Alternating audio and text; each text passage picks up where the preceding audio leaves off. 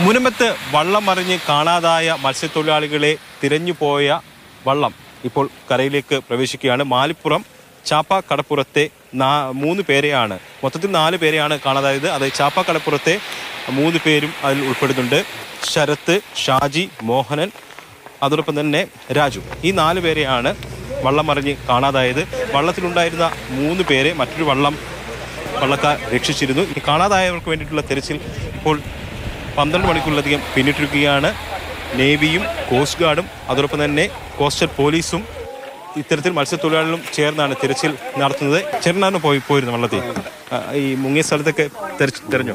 അതിലും അവിടുന്ന് പടിഞ്ഞാട്ടൊക്കെ പോയി വടക്കോട്ടൊക്കെ പോയി. എല്ലാ വള്ളക്കാരെയൊക്കെ അറിയിച്ച്. ആർക്കൊരു വിവരം കിട്ടിയിട്ടില്ല.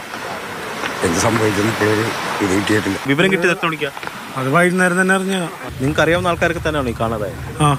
സുഹൃത്തുക്കളാണ്? ആ ഒന്ന് സു- നമ്മുടെ ഒരു അനിയന അനിയൻ ചെക്കനെ പോലെയും ഒന്ന് ഞങ്ങളുടെ കൂട്ടുകാരന്റെ അച്ഛനാണ്. ഒന്ന് എന്റെ ചിറ്റപ്പനാണ്. നമ്മുടെ അനിയത്തിന്റെ ഭർത്താവാണ്. കോസ്റ്റ് ഗാർഡും എല്ലാം അല്ലേ? എല്ലാവരും ഉണ്ട്. എല്ലാവരും സഹകരണത്തിലുണ്ട്.